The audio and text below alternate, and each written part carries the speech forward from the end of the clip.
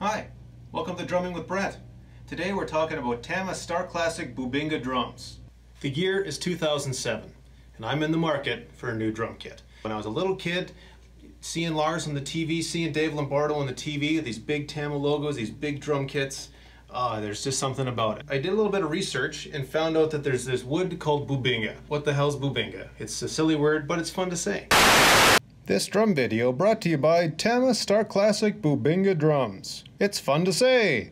Bubinga. Bubinga.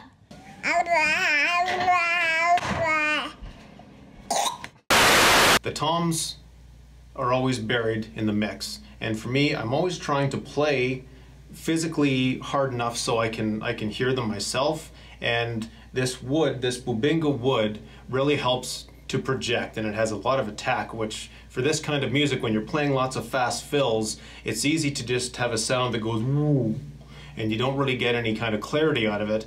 Bubinga is huge for clarity. Okay, enough talking. Let's play a new song. This song here is another one that I have almost got ready for the studio, but not quite. That's why we're going to show you part of it. The other part, eh, not so much. The part I have for today, it's almost ready.